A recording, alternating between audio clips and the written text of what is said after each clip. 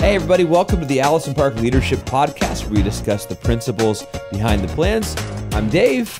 And my name is Jeff, and we want to welcome you. And we'll just say this is the last episode before Dave becomes a dad. Come on, somebody. that- Actually, by the time this comes out, I will be a dad, almost certainly. I guess there's a chance it come uh, very late.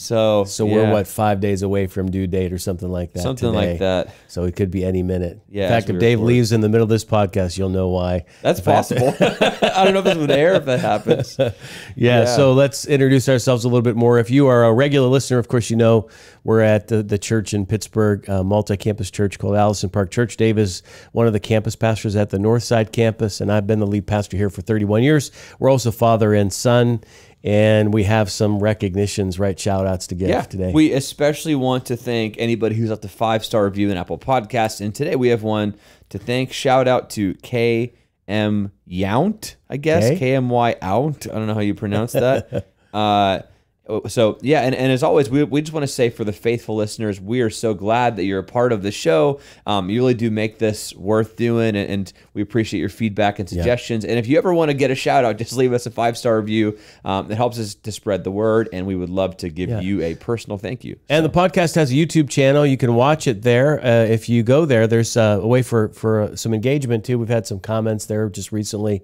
so we love the discussions and the input that come from that, or any suggestions you have. So, thank you so much for that. We're all about it. Can you believe we're almost at the end of the year for I season know, three? man. Season three. It feels like we just started this. Really, I know it's been a lot of fun.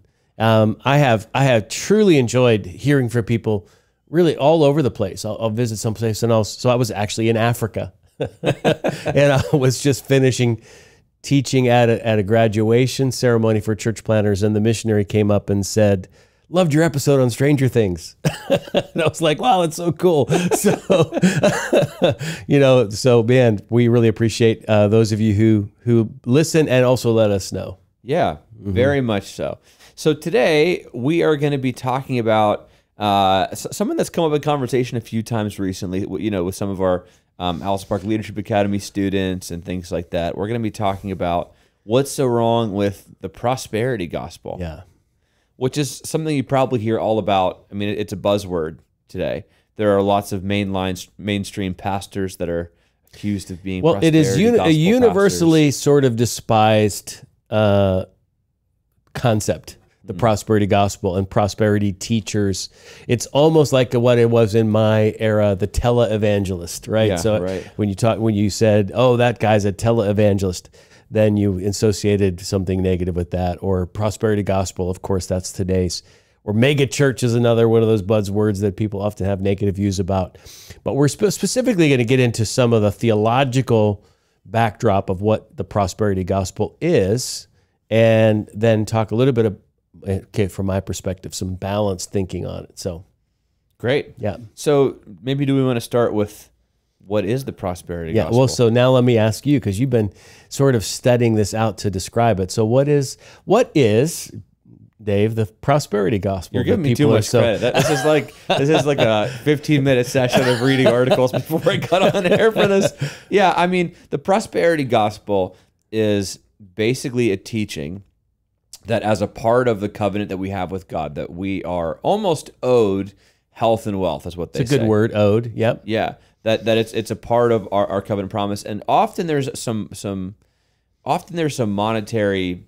If you give God your money or whatever, that God will actually bless you materially more than than than you gave. It's like give to get your miracle, give to get your Lamborghini, give to get your promotion or or whatever it might be. So it's it's the under undercurrent of, of all of this is if you are a real follower of Jesus, And if you you're- have faith, if you haven't if you've generated enough faith which you trigger by some type of financial investment in someone's ministry, a seed sown into that ministry. that you'll be able to tell because of the financial and material Yeah. blessings that are in Often somebody's you, life. you hear it quoted, you know, 30, 60, 100 fold. You'll get 100 times back what you put in. And it's almost like a uh, uh, sort of a, I don't know, you call a Ponzi scheme or a, a get rich quick kind of philosophy that give and you'll be, it'll be given to you is what the Bible says. And so it's almost like this um, numerical, mathematical output expectation. And for, and for what it's worth, it really is a not just a Western theology. It's really something that kind of came up in America Oh yeah, absolutely. specifically. Yeah. Yeah. Sometime I was reading sometime after World War II. Um, it's not necessarily a Pentecostal charismatic doctrine, but it, it kind of came out of that movement. Oh yeah, definitely. You know. Yeah. And it's not that all churches are. Meaning it's not a a uh, what you would call a historic sound biblical doctrine, Orthodox but it is it did grow right. out of that root system. Yeah. Absolutely. Yep. Yep. Yeah, and so there is this feeling that too that then you can tell if someone's blessed or not by how much money they have and the results of their life, uh, how healthy they are, how prosperous they are. It's sort of if there's any kind of teaching that fits with Americanism, Yeah. or the American culture, it would be yeah, Yeah, it right. would be the prosperity gospel because this is sort of like the uh, you know the American dream. God will bless your life and give you the American dream, uh, which is you know health and wealth and blessing and the fulfillment of everything that you've desired. Now, with that, a lot of times there is this idea that then you can give to support the work of God or help people around the world um, live a healthy life. You know those kinds of things as a part of it. Now, here, here's the side of it that even describing all this, something internally inside of me says, but there's something to this. Like it's not like we almost people talk about this concept almost like it's it's should be completely despised and has no As a, basis. as a full heresy. Yeah, but sure. there is a basis for all of this in in the scripture that if you give, you can expect God to give back, and that God does want you to be healthy, and that there is a, that's part of what Jesus did when he died on the cross was to provide for our healing, and that we can expect that when we sow seed that we're going to reap. This is all biblical principles. Somehow it gets a bit tilted, um, and that's when it get, gets goes off. So.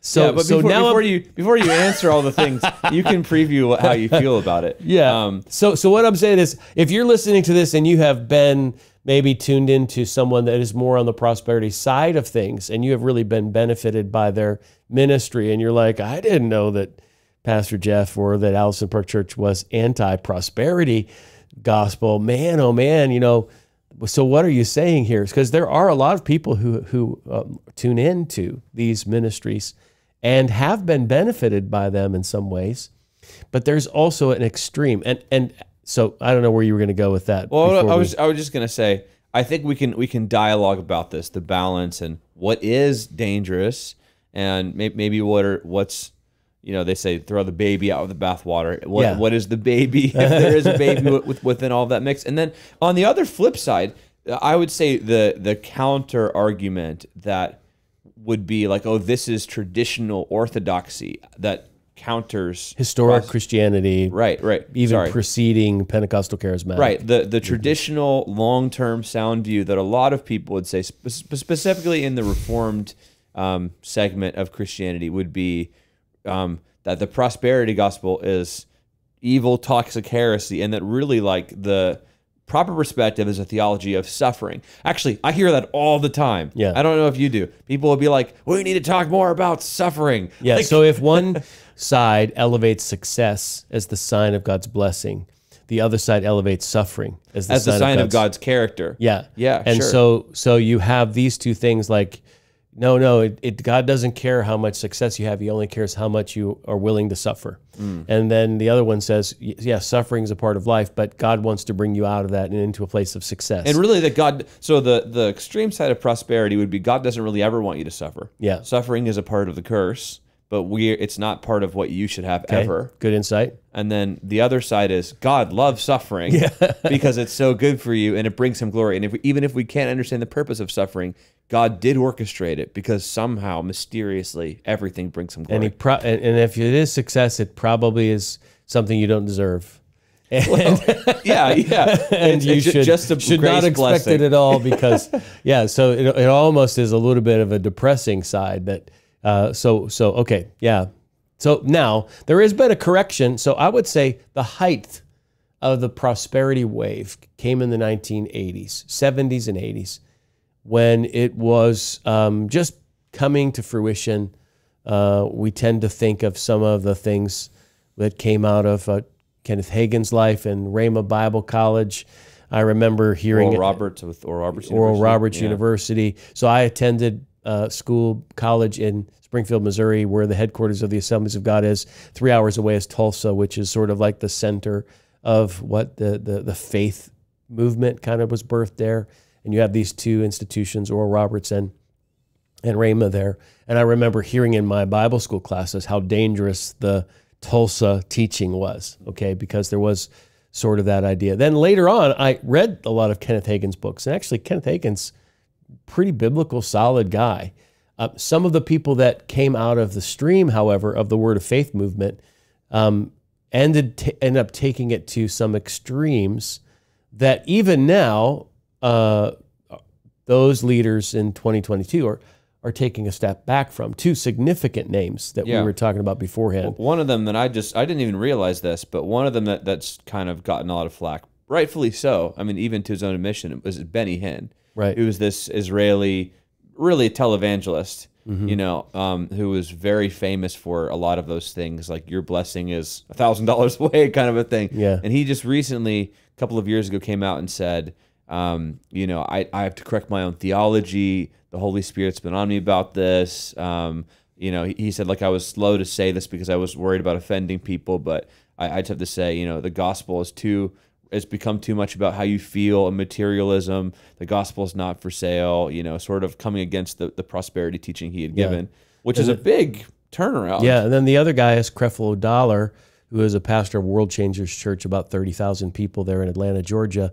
And he also came out and said some of my teaching about tithing and the, you know, the command to tithe and the expectation of financial blessing when you do was probably taken to an excess. And I realize that now and I want to bring it back into balance. So Benny Hinn and Creflo Dollar, two huge names in the Word of Faith movement that now are saying there was some imbalance here that we want to want to begin to bring correction to.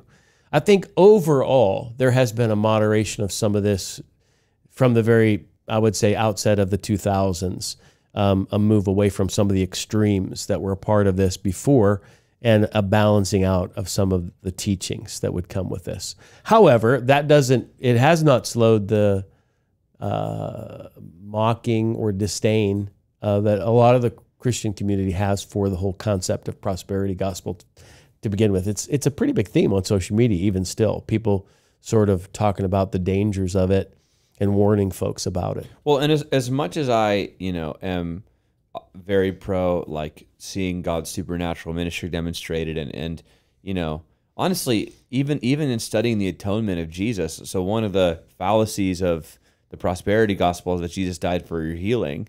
Even as studying that, I'm like, I think some of this might really be true. You know what I mean? Like, uh, uh, as as far as some of some of what happens in in uh, prosperity teaching, but what I will say is, I think when it is in its full form, there is a lot of danger. I, I, I think it does carry the risk of not helping to create real Christians or real disciples, people that are you know In it for the wrong reason. they're in it because because of the blessing. And, and you know what? I'll even say this: even if we're not talking about the prosperity gospel, um, where it's give this amount and you'll be materially blessed, there it, it's even some of that uh, theology and philosophy and, and thought process has filtered its way into mainstream preaching, where so much of mainstream preaching is only about your next breakthrough.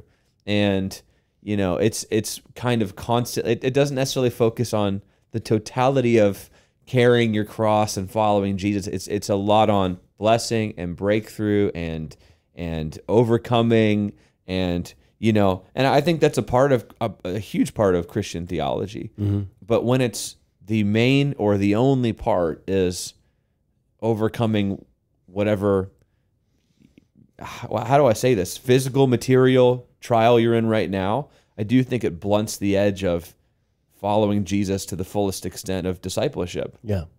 So let's let's let's talk about then what we do believe. Can we go there? What is the gospel? So let's just talk about that rather than the prosperity gospel. Let's ask the question. So what is the gospel? Do you want to start? Okay, so we believe that Jesus Christ came into the world because he wanted to rescue us from our sin and from the curse that comes with it. So when sin entered the world, uh, Adam and Eve were removed from the Garden of Eden, which was the place where God's will always happened, and they were unable to to eat of the tree that would keep them alive forever, the tree of life, because God didn't want to them to live forever in the condition of their damaged, sinful selves. From that moment, God has had a plan to bring redemption to us. Redemption, which is this broader word that means not just forgiveness for my sin, but restoration to the original purpose that God has for us. And so Jesus Christ came into the world on a rescue mission, rescue us from the, from sin and the curse of sin. When he died on the cross, he paid the price for my sin and for the curse. The curse was destroyed in his body when he died on the cross. He was buried in the ground, but didn't stay dead. He rose from the grave and is alive today. And when he rose from the grave, he overturned the curse for us. Not only was our sin paid for, but the curse was broken so that now we can begin to pray the kingdom of God down on earth and the will of God down on earth and to see his will again manifest. Now there's two places in in history where the will of God was always done. One is the Garden of Eden and one is the kingdom of heaven when we finally get to heaven. And we live in, be- in between that, which is still under the curse that comes with sin. So that's why we have sickness and disease and tragedies and earthquakes and disasters. And we also live in an era where the devil the Bible says, is like the prince of the power of the air and dominates most of the world, the powers of darkness. So we don't live on a beach with our, you know, easy chair, kick back, just sipping some iced tea under the favor of the Lord now because we are uh, believers in Jesus Christ that has overcome the curse. We live in still the middle of a battle zone where we are fighting every day against the powers of darkness, still in a cursed world with people who are under the powers of darkness and need to be saved so that they can be redeemed and made whole. So the purpose here is not now I'm saved and the curse is lifted so I can have a big house and a big car and a prosperous business. We're here now to work with Jesus on his mission on earth, which is to rescue people from the curse and from the attack of the enemy and from the pain that comes from living in a sin cursed world. And the gospel becomes the solution for all of that. So, um, in my mind, there is breakthrough that comes with the gospel that is not just about your sin. It's about your physical healing. It's about being free from addiction. It's about expecting that God will provide for you financially so that you can fulfill his mission on earth. It is, it is about seeing people saved and cities transformed. It's about living in, a, in the power of the Holy Spirit so that we can fulfill his purpose on earth and bring his kingdom down where the, the will of the devil has been happening every day. We want the will of God to happen. So to me, the gospel carries all of those components with it. And so where the prosperity gospel has some things right is that there is an expectation that with the gospel comes breakthrough. In fact, there's this word that we see in the New Testament for the word save, that Jesus has come to save you from your sin or to save your soul. And it's actually the word in the Greek sozo, which implies, just like the word shalom in the Old Testament means completeness and wholeness in every way from the inside out. The word sozo means completeness and wholeness. It means mental and physical and emotional and spiritual and relational wholeness. Jesus comes to bring salvation to all aspects of your life and so when you step into faith in Christ, the gospel brings with it all of those things as a part of the package. And we should live into that and believe for all of that as we experience our life. Okay. So um so obviously the gospel brings breakthrough. Yep. And I think the prosperity gospel will talk also about financial breakthrough, which there's there's got to be a degree of that. Sure. You know, where Jesus talks about like don't worry about what you have to to eat or drink or how you what you clothe because God even cares about the lilies of the valley or the sparrow. Yeah, and so then he says, "Seek first the kingdom, and all these things will be given will to you as well." To you as well. Sure. So, so there is expectation of all of those things: blessing, prosperity, breakthrough, healing. This is all part of what the gospel brings so with it. The and I guess the question would be: Is provision the same thing as prosperity? That's one thing. And then here's here's a here's a big question that I have for you because you have prosperity teachers that would teach verses from the Bible that say this is what God wants for you. And then you have people that are teaching, you know, some people would call it the poverty gospel, where God's more blessed by your poverty or suffering. But even if you don't go to an extreme, you know, it feels like two contradictory things you'll hear is God wants you to prosper or God wants you to suffer. Or maybe God doesn't want you to suffer, but God is totally fine with your suffering, or Yeah. God may So- intentionally allow your suffering. So, which doesn't it Okay, feel like those are two different things? Like, So which is it? Where does the prosperity gospel get it wrong? Let's talk about that. That there are some ick, icky factors here. One, God will bless you if you give money to me. This is what people say, right? I am here on this television station and we're taking a telethon here. And if you sow seed into my ministry, because there's such good soil in my ministry, God is going to bless you. So it's a little bit self serving. God, I'm not asking you. So if no one's out there saying, if you will give money to the poor, God will then bless you. Like, here's, look, here's the poorest in society. Here are the people that are suffering the most. If you will take your finances and walk down to the homeless on the streets and start to pour out your resources to take care of the poor, no one in the prosperity teaching is doing that. They're saying, send money to me. Okay, so my church, my ministry. And so it feels a little bit like a man- manipulation. And that's part of what where it goes wrong. And then it's like, and God has done all of this, dying on the cross for you, rising from the grave, overcoming the curse, so that you can live an easy life. You can be pain free, and you can have a big house and a big car, and you can you can have every part of your dream. And this is why it's all there, so that you can be a spoiled kid in the kingdom of God. Okay. Well, God has done all these things for you so that you can live on mission, so that you can go out into the world and you should preach the gospel to people and you should serve the poor and you should work to change the world where there's injustice. You're trying to speak up for it and change it. So you're going to use the resources that God puts in your hands and the health that God gives you, and you're going to go out and you're going to, to do that by giving it all away, or maybe not all of it, by living a sacrificial life. So God wants to fill your hands with abundance so that you can live abundantly and live a life of sacrifice. Now, here's where I think suffering comes in. Where we see it in the book of Acts is that Paul and Simon Peter and James and the early church, they suffered, but not just in their personal journey. They they had a, you know, a bad week or they they had a loss or they lost their job or they suffered because they were preaching to people that got angry and persecuted them. They suffered because you know Paul would go into a city and they would have a riot over him casting out demons from somebody and they would throw rocks at him. The suffering was all missional suffering. It was not just um, daily struggles. And so we don't we don't necessarily know if they Well, did or well, didn't. okay, but the, what's emphasized here, it, I think the heroic kinds of suffering is not the, that you have daily struggles. suffering for suffering for Jesus. suffering for a cause. Yeah. Suffering because you're you're you're you're giving it away. You're you're you're laying your life down for others. And I think that that kind of suffering because you're being persecuted because you're you're you're you know you have chosen to to so engage with purpose that there is a kickback from that. I think is the kind of suffering that is the heroic suffering that we see in the New Testament. Now that's not to say God doesn't do things in your life when we suffer, because suffering is just a part of everybody's journey. Um, but I don't think suffering is the is the goal, which I think then on the other side of the equation it can become that.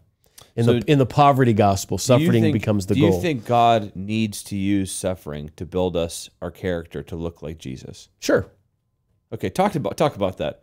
Let, let's let's make this balance because I, I do think that the if if people were hearing us and we sounded very pro word of faith prosperity gospel, it'd be like I don't think suffering has a place. But you just said you think there is a place for maybe God even intentionally throughout your life will allow suffering. Maybe it's not even while you're on a missionary journey. Maybe it's in your personal life. Um, what what is the role of suffering uh, uh, in general? Does that make sense? Okay, so what it let's define it. Give me an example. What's suffering? What does that mean? I think suffering could be anything that causes a lot of personal distress. It, it could be death. It could be sickness. It could be um, some traumatic experience you go through. It could be loneliness. It, I mean, there's a lot of ways that it, it, it could be. It could be people that are around you that are just obnoxious that you have to deal with. Maybe their family, or maybe it's you know may, maybe maybe you married someone who now has it's really gone through a hard time and You know what I mean? And and they're not quite the same person. They're not they're not them, Mm-hmm. their full self. And it's so, so I think suffering can be anything that's causing you great distress, whether it's physically or emotionally or mentally. Yeah. Okay. So there is this this is a verse Romans chapter 5 verse 3 not only so but we also glory in our sufferings because we know that suffering produces perseverance and perseverance character and character hope. So let's think of it like the athlete training for his event. He suffers ahead of time because he is putting himself through the paces of what it's going to take he or she to compete uh, in the game and have the endurance that they're going to need to succeed. So some suffering is when we fast, when we when we spend extra time in prayer, when we serve. Uh, you know, you're a mom or a dad, and you're going to serve your family, and you're going to set us on your own personal agendas to be able to benefit somebody else. When you when you suffer because you're t- spending your time and resources and energy in in service of other people. Sometimes so, it's like self denial, basically. Okay, self denial. Yeah. So, Right. so sometimes it is, I have been betrayed by somebody. I, I poured my life into a marriage and they, they walked away from me. I, I, uh, I, I, I got into business and I had a partner who, you know, stole from me. I, I have, I've been pastoring my church and I have leaders that I never thought would forsake me and they, they left and when they were criticizing me. Okay, those, those are all things that are, are, I guess, sufferings. There is, there's another great example in, in actually Second Corinthians chapter 12, verses 7 through 10 where Paul says, I had all these great revelations from God. He allowed me to be caught up into the heavens. To keep me from being proud, he allowed there to be a thorn in my flesh. And then he says, a messenger of Satan to torment me. Three times I pleaded before God to take it away from me. But he said, No, my grace is sufficient for you, and my power is made perfect in your weaknesses. Yeah, yeah. Okay. Then he said, That's why I delight myself.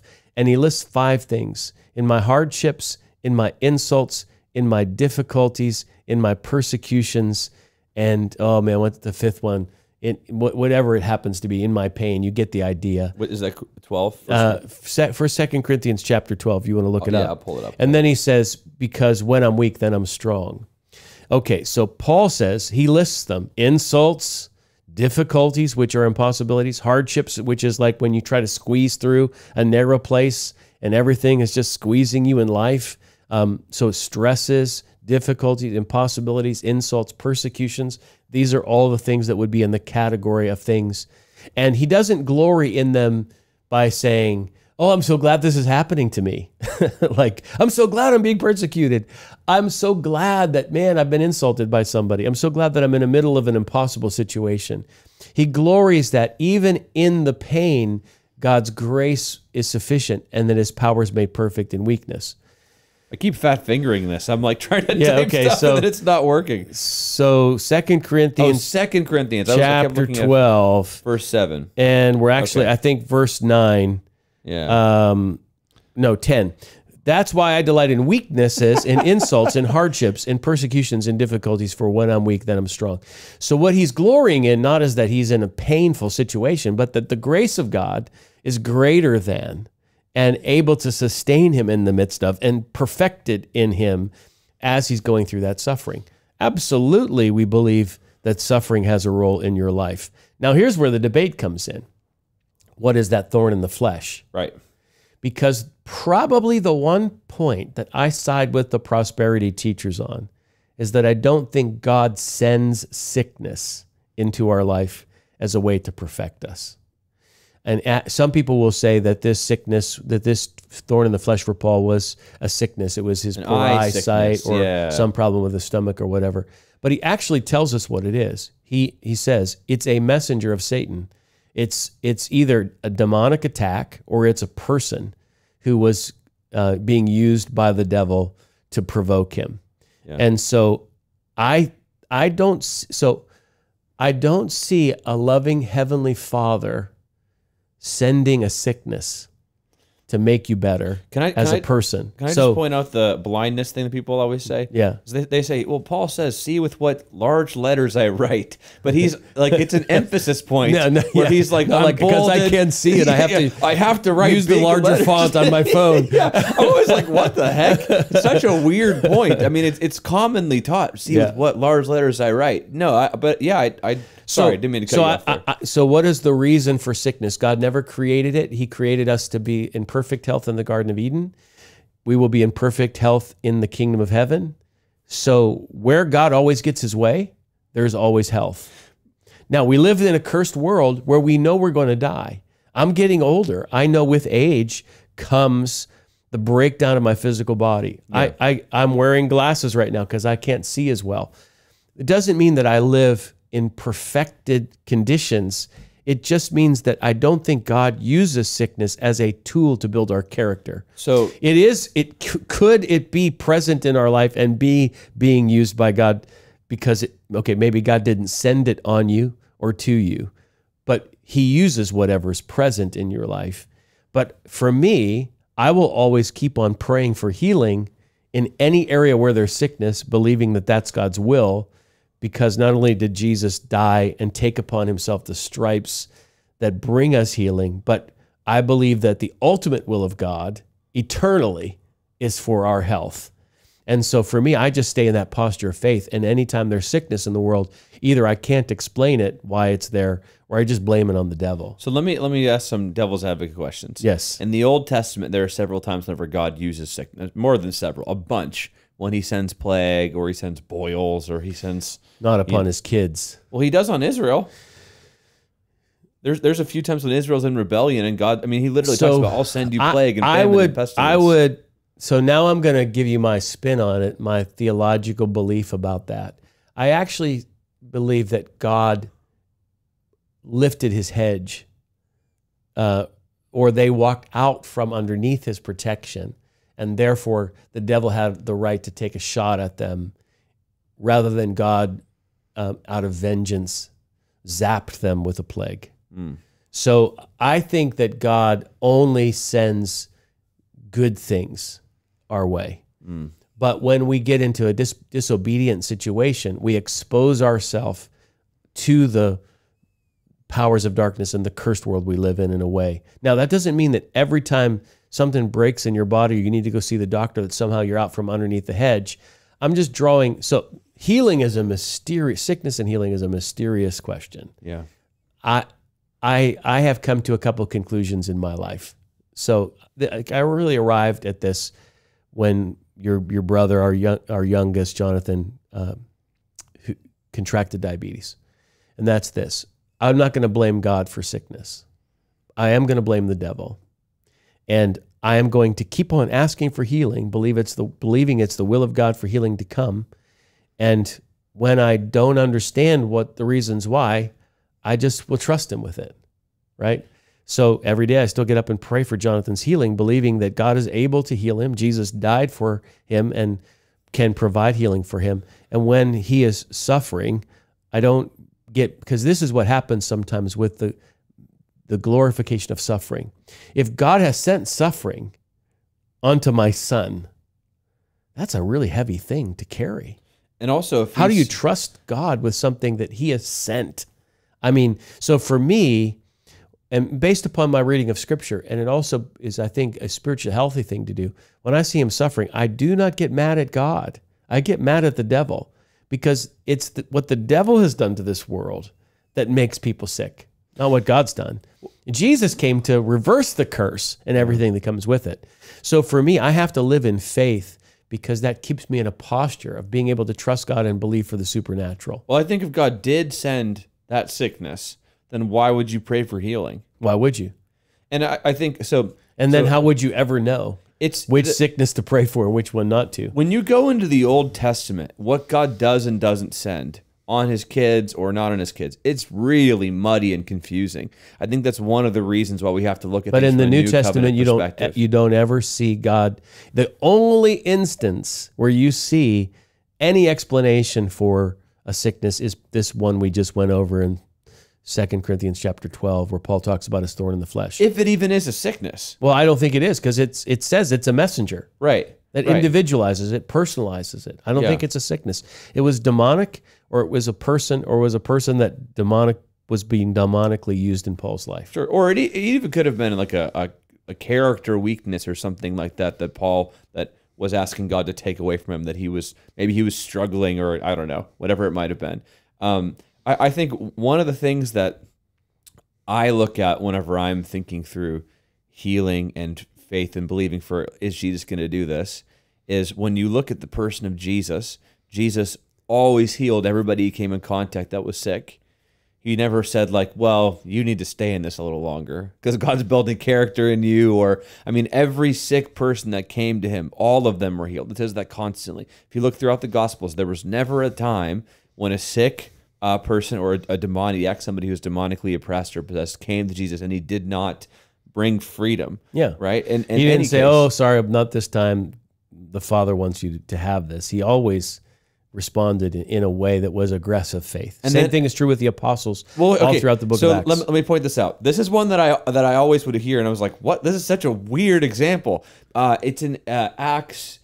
It is in Acts chapter. Is it? It might be two. I don't know if it's two. It's whenever uh, Peter and John go by the the man born blind at the gate. Uh, beautiful, I think is what it is. Uh, well, that's chapter three, and he was chapter three. crippled. cri- Okay, crippled. crippled. He couldn't Ah, walk. I'm sorry. Wow, I am really mi- mixing up my things. Yeah. He's crippled, not born blind. Duh. Yeah, Okay. Anyway, so he's a cripple. I I hear people talk about well, that cripple is probably always at the gate that Jesus would walk by. Well, well, he probably was. sure. I, and I, so Jesus did not heal him, nor did he heal everybody he walked by.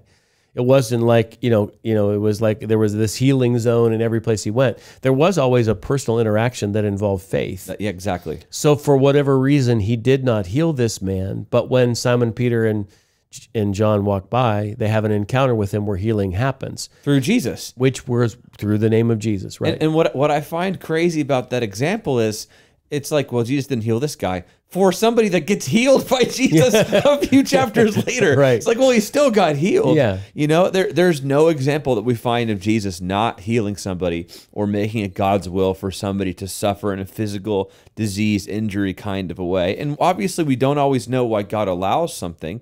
Like I remember the the example that you talked about with me when I was growing up that really made a big impact is actually the man born blind that the disciples asked Jesus, why was he born blind? Was it his sin or his parents?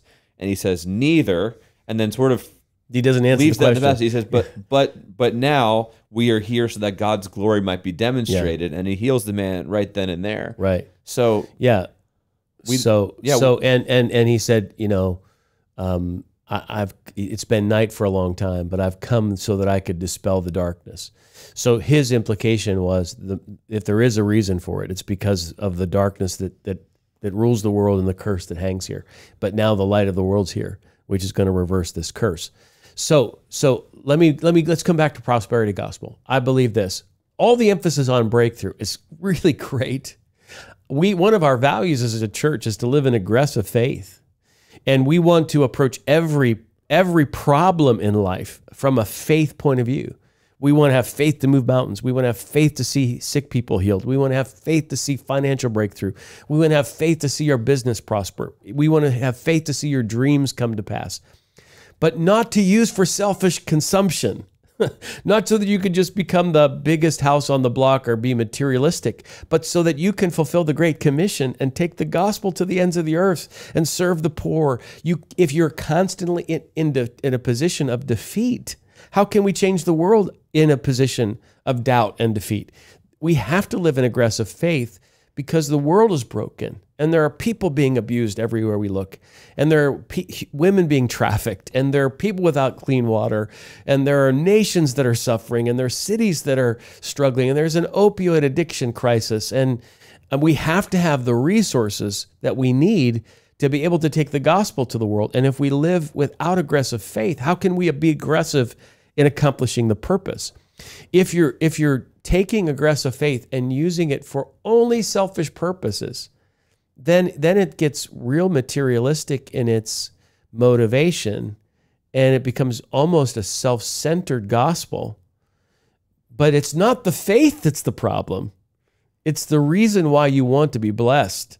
It's the motive for, for your faith that is so twisted. And it may be the motive of some of the pastors who are teaching it because they're actually trying to manipulate you to give them more and they're using these promises to leverage people people's um, hopeless situations. I mean, this is really, really horrible when you think about. It. There might be a woman sitting at home watching her Christian television program. She's on a fixed income, and you have a guy that's on television flying a helicopter, mm-hmm. and he's trying to get her money from her, so that, and using, an you know, a sort of a twisted version of the promises of God to get her to send her ten dollars in. I don't, man, that's not good at all. No. And I think that's the part that is really sort of sick about the prosperity prosperity gospel. Well, it's that, and then it's the fact that you can easily go from serving Jesus to serving your own I, I, desires and yeah. materialism, and because God doesn't. I, I think that it's like, are you serving? Are you serving Jesus because you want to be rich or blessed? Like, well, God, like it's like you know, it's it's about if it's about the blessings and not about laying it all down at the foot of the cross. Yeah, it's not really serving Jesus. It's serving a materialism God. Yeah, yeah, and you know, Paul did he did when he wanted to quote his credibility to people that were questioning his apostleship. He didn't say, "Look at the size of my house. Look at the kind of car I drive. Amount of followers look at how much have. money I have. Yeah, Yeah, look at my followers on Instagram." He said, "Do you know how many times I've been beaten? Do you know how many times I've been stoned? Do you know how how many times I've been shipwrecked? You know how many times I was left for dead? How many times I've been hungry in in the in the cause of the gospel?" But those were all missional sufferings. They were not just life has been hard this week, mm-hmm. right? Like, do you know how how depressed I've been over the past couple of years? Like, it's not that kind of a thing, right? It's not like glorifying your aches and pains uh, and your struggles. Um, although you can say, look at what God's brought me through, my the, the stuff I've walked through in life, the the betrayals that I've experienced, and God's brought me all through this, and now He's healed me, and I'm an instrument now to take the grace I've received from my sufferings and pass it along to somebody else. Because even when I was weak, God made me strong. Okay, that's a great story and a great testimony. Yeah. But even that is prosperity in a way, because it basically so the the Second Corinthians 7, 12 passage basically says your power is made perfect in my weakness. Sure. Even even Paul's talking about his thorn in the flesh comes from a prosperity perspective because it says when I'm weak then I'm strong. Like it doesn't say when I'm weak then I continue to be weak. It said even through the worst parts of my life the grace of God was an overcoming grace. And so I think the emphasis always has to be on that, but not for this weird materialistic selfish purpose. Well, then I think whatever challenges you are going through or suffering, I think if you have the attitude of I'm believing for God to give me breakthrough, but even while He hasn't, I'm still going to glorify God because I know He is being made perfect through my suffering. I think that's the attitude. You know, I, there there is something to that Shadrach, Meshach, Abednego. You know, our God will save us from the fire about to throw us into, but even if He doesn't, we're still going to follow Yeah. Jesus. Like Yeah, or Paul and Silas in the middle of the Philippian dungeon with they've just been beaten and here they are. They have no idea when they're going to get out, but they worship their way through anyway. Yeah. I mean, that is the perspective. And if you are suffering right now, I want you to hear me say this. God's for you. He, his will is to redeem you. His grace can be made perfect in your weakness. The suffering you're going through can give you perseverance, which gives you hope because it makes your character strong. But he doesn't want you to stay in a position of defeat. He wants you to have the expectation that not only are you going to get through this, you're going to be made perfect through it. And he's going to bring you through on the other side to bring not just breakthrough to you, but through you to other people in the world because his will is to see his kingdom come on the earth and to overthrow the curse of sin and to break the back of darkness so that we can walk in the victory he's decided desired for us not so that we can just live a cushier life but so that we can fulfill his purpose on So earth give me give me the balance now, just the straight like both boundary lines, like a proper theology of prosperity and suffering mixed and balanced. So I think we have to have an extreme belief in the power of the gospel to bring healing and breakthrough and provision. And we also have to have an extreme call upon people's lives to lay their lives down for others in the in the purpose in the service of the gospel. If you have both of those two things together, you'll be living the balance. If all, if you have lost your aggressive faith because you you are overvaluing suffering, then I think you you have lost something you really desperately need. If you're not if you're not rising up to the challenge to give your life for the cause of Christ, then you've probably lost something there too. I actually think there are people that don't do either. They're not really doing either. They're not giving their life for the cause of Christ, nor are they living in aggressive faith. They're just being critical of others who they think are imbalanced somehow, which is probably the saddest place to be of all of the places you could be. Um, because at least if you're trying to live in faith, that's a good thing, right? If you're doing it for selfish motives, okay, that's that's bad. Um, or if you're living for the cause of Christ and maybe you haven't been believing enough for breakthrough, uh, then that's a good thing. But, but I think both of those things need to be held in balance. Yeah. Can I speak up for one more thing? I don't know. Do we have Go time ahead. for Yeah, we have time. There is one guy that I think it's a little bit unfairly criticized in the prosperity teaching, and that's a guy named Joel Osteen. Hmm. Okay. Joel Osteen oftentimes is the face of a lot of criticism. And I had the chance to meet him when he came to Pittsburgh and hear him describe his his strategy. So Joel, typically you'll hear him preach a lot of the same message on a regular basis, and it's a message of hope. God loves you. Be positive. He wants to do something in your life. If you'll trust Him, He wants to bring you through this, bring you into a better season, a new day. And when he was here in Pittsburgh, I heard him talk about his strategy. He said, My purpose is not to, to, to give people a balanced message. He said, I, I'm on television only to give people hope. He said, I'm not even trying to lead people to faith. He said, Hope, you have to have hope before you can have faith. So I'm just trying to give people hope. Now, the stats they told us is actually Joel reaches on television 80,000 households in the city of Pittsburgh. And 40,000 of those households every week are, peop- are from homes where they're not Christians. And so they're, the people are tuning in to hear Joel, not because they're trying to have an American version of the gospel where they have a bigger house and a lot of money, but they're listening to Joel just because they feel like they have nothing left and they just need a positive voice in their life and a little bit of hope. Then Joel said, after we lead people to a place where they have, you know, prayed a salvation prayer or they've told us that they want to follow, they then send them to a local church where they get the balanced teaching. And I think sometimes people misinterpret Joel's strategy and uh, paint him with a very broad brush of somehow being the face of all the evils of the prosperity gospel. When I just think, uh, you know, we were we were actually Mel and I down in Aruba celebrating our 25th anniversary 10 years ago, and when we were on the beach, we we were renewing our vows. My dad by FaceTime um, kind of walked us through our vow renewal. We had a photographer there, and he said, "So what do you what, what's your job in America?" And I said, "Well, I'm a pastor." And then he said, "Oh, do you know Joel Osteen?" and I was like, "Well, yeah, I guess I've met him." He said, "Could you get him to come to Aruba?" And so I was like, "Well, I don't know him that well, but all over the island of Aruba, they're watching Joel because Joel preaches hope." And he doesn't preach the full balanced diet of Christianity, but he does that on purpose because he's just trying to reach people through a little bit of positivity so that they can, he can they can lift their eyes out of their problems for a moment. Now, do I think Joel's message or ministry is perfect? No, I'm not saying that at all. Um, you could actually debate whether that strategy is effective or not. One of the things I do know is that he is talking to a lot of people. I mean, millions and millions of people who are listening to him and are at least hearing a little bit of the promises of God, which may lead them into something.